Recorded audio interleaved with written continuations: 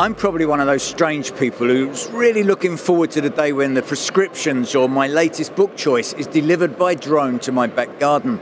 But I also know that I've got the neighbour's kids down the road with an air rifle who would do nothing more than shoot the thing down. Well, I'm with Toby here. And Toby, your company is going to solve that problem for me. Tell me about your new technology.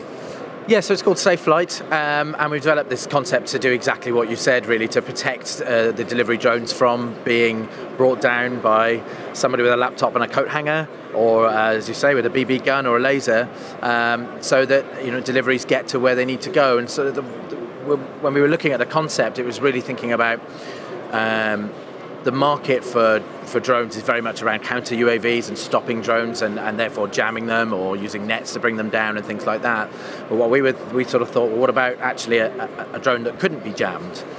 So we developed Safe Flight as a concept, which we've filed our patent for, and, and, the idea with that is that it has a number of navigation systems built into it. So it has GPS, it has optical, it can also bounce off cell towers, and the idea then is that it can switch to any of those navigation systems if it's interfered with in any way.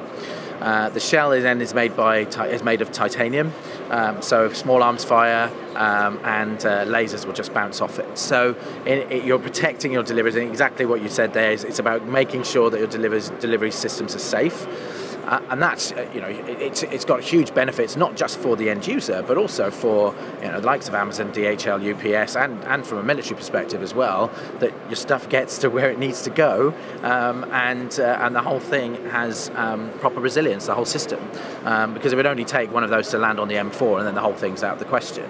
Um, and if you're the CAA, you're probably going to want to have these mitigation systems built in, certainly some reassurance that these things can't be brought down so easily. So there's a whole bunch of benefits there. Okay, Toby, can I can I ask you a question? Then that, that that's great for the for the good of what we're doing. What about the evil of what we're doing? You know, small packages being dropped into prisons, or even worse, used in terrorism issues.